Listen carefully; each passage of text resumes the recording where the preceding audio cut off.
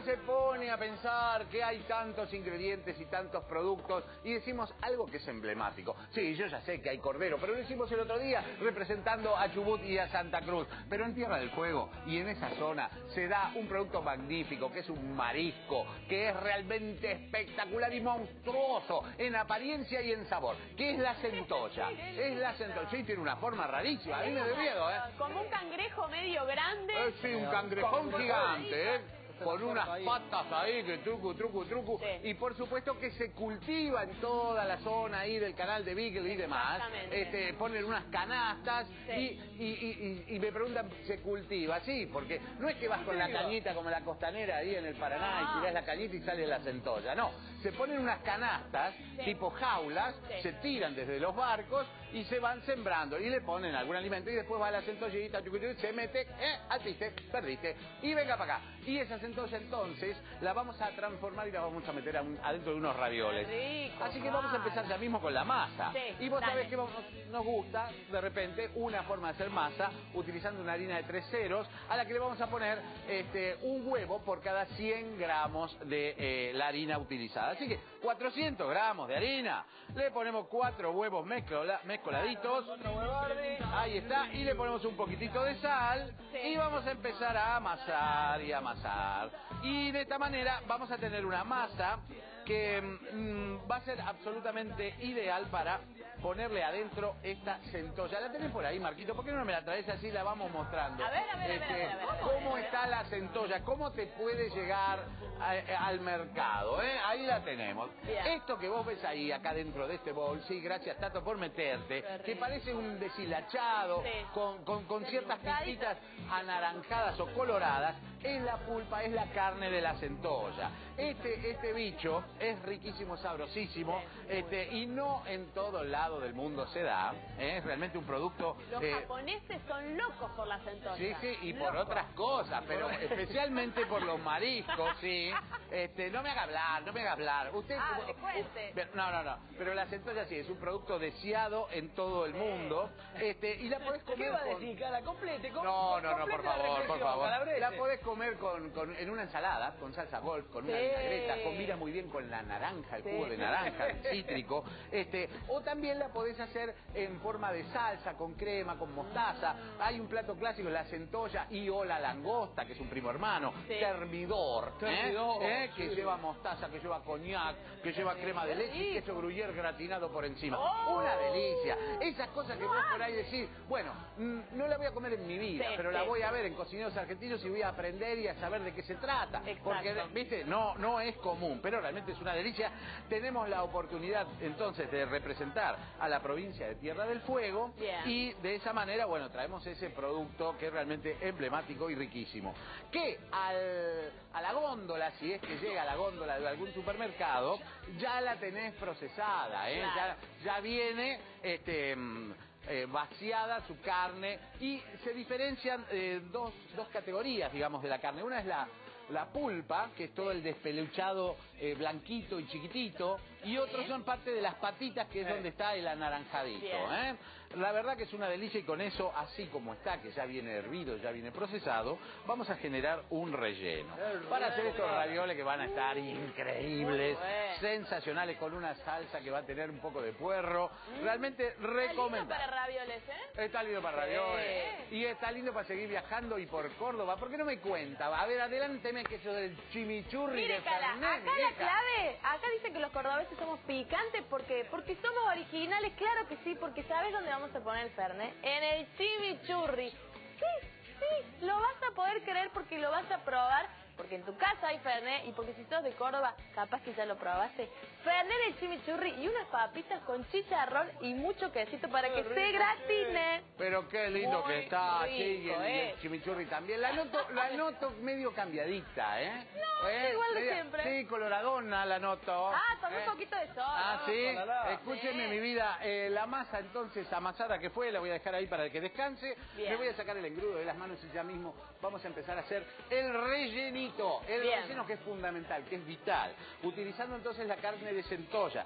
Insisto y te digo, esa carne ya, este, ya está procesada, es decir, que ya te llega a la posibilidad de la góndola eh, hervida, cocida, la puedes comer Sí. directamente, quiero Sí. decir. Haces una ensaladita, una buena vinagreta, una buena mezclita y lo comes directo. Nosotros, fíjate que ni siquiera vamos a cocinar ese relleno porque la centolla ya está cocida. Entonces, sobre una buena eh, parva, riquísima, con un aroma increíble de fresco, esta Sí, ¿eh? donde está mezclando la pulpa y las patitas. Sí. Todo el mar, ¿no? Vamos a- sí, es increíble, es, es- es eso, Juan. Es el, el- el aroma del, del mar abierto, de lo fresco, de lo fragante, es riquísimo, riquísimo. Te hago una pregunta. Sí, por favor. Disculpe, no que le interrumpa, Pero, pero... por favor.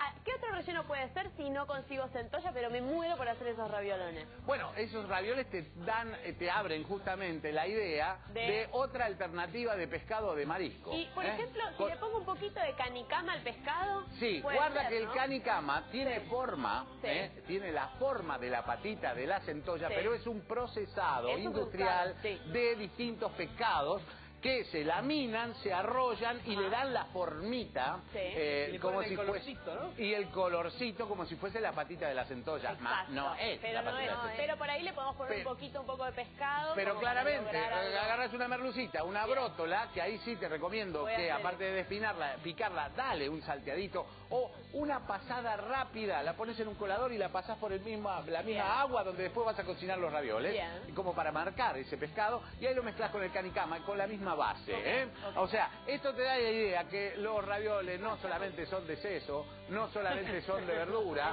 No, solamente son de ricota, Bien. también puedes hacer ravioles de pescado. Y vos que estás en una ricos. provincia donde no va a aparecer ni por arte de magia la centolla, también podés utilizar algún pescado de laguna, de río Bien. o de charco que haya en tu provincia para hacer estos raviolones Claro, ¿eh? claro, de pescado. Son realmente buenísimos. Bueno. Eh, lo que hay que hacer es no matar el sabor sutil que tiene la centolla. Entonces no le vamos a agregar este, de- demasiados este, ingredientes fuertes. Bien. Por empezar, un par de cucharadas de, de- de- un queso blanco, de un queso crema. ¿viste? Algo suave. Si querés ponerle crema de leche, también podés ponerle crema de leche. Este, hay que, hay que hacerla untuosa, ¿viste? Bien, Hay bien. que Eh, esquivar el Roquefort, ¿viste? Ahí te lo matan, no, no, no le pongas claro. tanto el pescado, Cristo. chorrito de aceite de oliva para el más que nada por el tema del perfume en el relleno, el aceite de oliva Bien. y este esta mezcolanza entonces con ese queso suave, cremoso, eh, queso crema al fin Ah, bueno, ¿eh? y empezar a este a revolver. Yo en este instante ya tengo ganas de atacar con la misma cuchara que estoy revolviendo y comerme y ataque, no, ataque, no, no, no, querido. No, esto está destinado al relleno de los ravioles, por favor. ¿Sabe que cuando yo estuve en Ushuaia Ajá. me hicieron centolla así, nada más servidita? La abrimos y la comimos con un poquito de mayonesa. Qué rico, qué rico. Espectacular. Es riquísimo, riquísimo realmente. Y muy representativo de toda la zona, por Sí. cierto, porque in- indudablemente no lo encontrás, no en otra provincia argentina, no lo encontrás en, en el resto del mundo. No. ¿eh? Hay pocos lugares donde hay este tipo de, de animal, de monstruo marino, de centolla, centollón, Es muy- que es es un primo hermano más grandote y rústico. Sí. De hecho, Pero- se, se exporta mucho Sí. la, la centolla argentina, ¿verdad, pero, por cierto que sí, viejo. Así que si tenemos... ¿Usted me permite probar ese relleno? Porque la verdad que ya... Pero me- viejo, eh, sí, véngase corriente para Tierra del Fuego. Permítamelo un segundo. Véngase, mire, me tentó, es- los tentó todos Es absolutamente natural. Eh, voy a agarrar una cuchara sí, ¿eh? sí. Es un... Por cierto que todavía le faltan No, ingredientes, no, pero eso es natural. tiene Eso es natural. tremendo. Lo único que tiene es el quesito blanco. ¿Eh? Es suave, es rico, eh, es algo Delicado. mm, delicado. Sutil. Pero levantan los aromas. Eso, eso exactamente. Eh, choque los cinco. Ahí está. Bueno, váyase volando para allá, para la provincia de Corrientes, porque sí, estamos sobrevolando toda la Argentina, ¿eh? En un ratito nada más, señor Juan Braceli con un invitado especial, con don Facundo, que es un maestro de gastronomía y un especialista en el chipá, ¿verdad? Es cierto, van a hacer este, un original chipá eh, correntino. Y otro plato más, ¿cómo se llamaba mi viejo? Embellú. Embellú. Embellú. A ver, Ximena, ¿a usted le sale decir? Embellú. Un bellú, Ximena, un bellú. Sí, sí, Tato, mete, a- hacele, metete, Tato, metete en la boca a Ximena, que va a decir. Pobrecito cucurino. A ver. Ay, ¿Está bien? ¿Lo dije ¿eh? bien, Facundo? Sí. Un bellú. no, no, no me importa lo que dijo, pero en realidad, ¿cómo lo dijo? ¿Cómo lo dijo? Bueno, un toquecito de sal, no lo vamos a hacer larga. Vamos a poner, esta no, este no. Vamos a buscar otra cucharita. Le queda muy bien a la centolla. Eh, fría, tibia o caliente, un toquecito así de mostarda, ¿eh? mostacita. No demasiado, ¿eh? Y no busques esas mostazas fuertes, fuertes, demasiado fuertes. Una mostaza tranquila, suavecita. Y aparte, también la delicadeza de una cebollita previamente picada y salteada con un poquito de manteca. Así que esto no lleva eh, ningún este producto estrafalario ni nada por el estilo. Muchas gracias, don Marquitos. Y reitero, no vas a conseguir para nada fácilmente la centolla, pero igualmente es importante que lo veas, que lo conozcas, porque es un producto argentino que representa a. Tierra del Fuego. Además, si te vas a dar una vuelta por allá, Más vale, ni bajo Frena. el avión, ni bajo el avión. Che, marche dos porciones de centolla. Así de una. El perejil, que es una hierba muy, muy suavecita, ¿eh? como para no taparlo.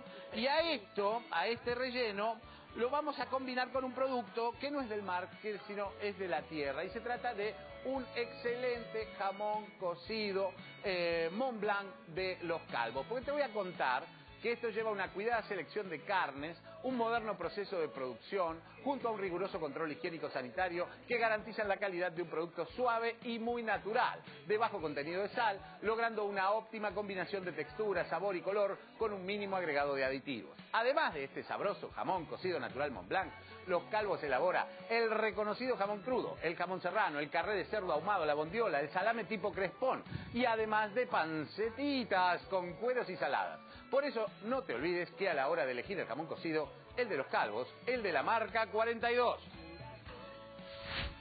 A la hora de elegir, los calvos, porque uno se tienta. Pero ¿cómo no te vas a tentar, mi viejo? Fíjate, este jamón excelente, suave, lo vamos a combinar bien picadito con esa pasta que hicimos con la centolla, con poca Bien. cantidad de mostaza, con una cebollita grande picada y apenas salteada en mantequita, con el agregado de un poco de sal y perejil. Esto es sensacional, insisto, directamente te lo podés comer, agarrás, pones una ensaladita, es una ensaladita de verdura y, y, y plantás este, este, esta mezcla. Nosotros lo vamos a utilizar para el relleno de los ravioles, esos ravioles que ya tenés en pantalla junto con la receta. Y fíjate que partimos en ese caso como para hacer ravioles para el campeonato, un kilo de harina y 10 huevos. Acá nosotros hicimos 400 gramos de harina con El 4 domingo, huevos. Pero esa es la relación para tener en cuenta. Cada 100 gramos de harina, un huevito entero. Bueno, sal, pimienta, que si querés le pones, si no, no.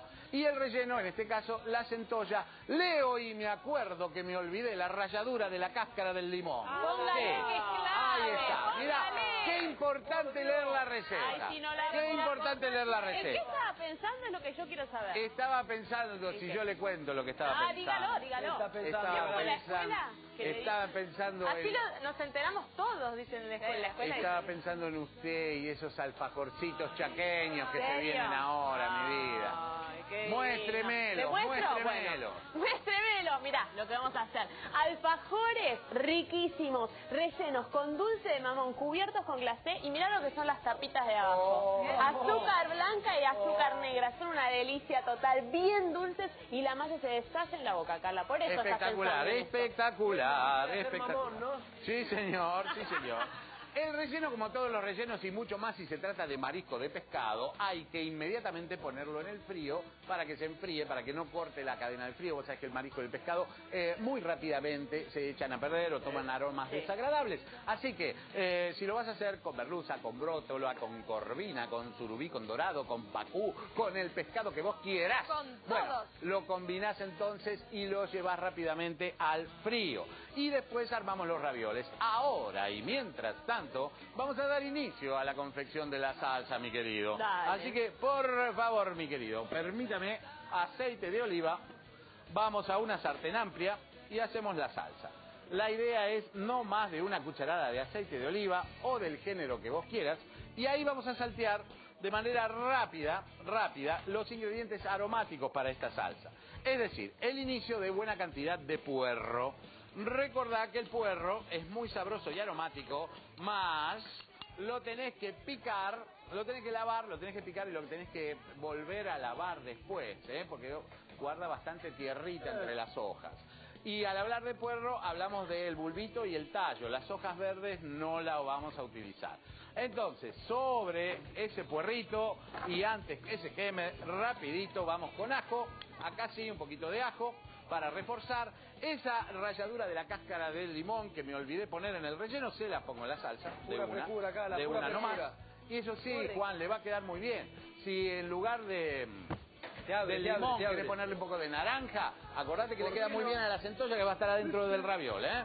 Bien. Así que usted, don Marquito, me está dando una gran mano, me está dando dos manos, dos Eh, piernas, porque Marco. acaba de estirar la masa y me está dando ahora, te- perdón, que me cruce, voy en busca de la crema de leche para... Siempre con semejante relleno, la salsa livianita, tranquila. Sí, mira, podés hacerlo directamente con una manteca, con la ralladura del limón, la naranja y el puerro. A mí se me hizo darle un poco más de contundencia, porque como no le puse eh, crema en el interior del raviol, le Claro. puse queso, bueno, la salsa que sea de crema, pero las alternativas son amplias. Bien. Mucho más sutil queda, esto que es un producto indudablemente muy sutil y delicioso, que es la centolla, con la crema, aunque también con el tomate lo podrías hacer perfectamente. Entonces, la salsa, vos viste que es una gansada absoluta, fácil, fácil, gansada. fácil, fácil, fácil del ABC.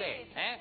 Chorrito de aceite, si querés cubito de manteca, eh, el puerro, el ajito, la ralladura de la cáscara del cítrico y crema de leche. ¿Querés darle un toquecito de vinagre blanco? Méteselo que le queda muy bien. Quiero. Algo de perejil y o cibulet, métalo. Entonces la salsa la vamos a dejar hervir suavemente, igualmente que el agua. Y te propongo lo siguiente, no te me vas a mover de ahí por amor de